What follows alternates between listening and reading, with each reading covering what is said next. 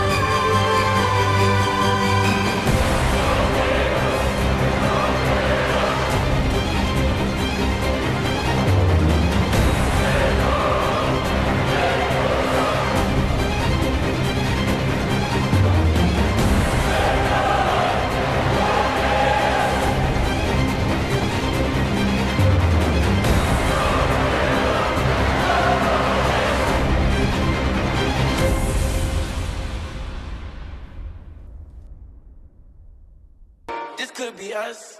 So back to what I was saying. Could, could, could be us.